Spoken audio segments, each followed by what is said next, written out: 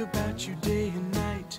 It's only right to think about the girl you love and hold her tight. So happy together.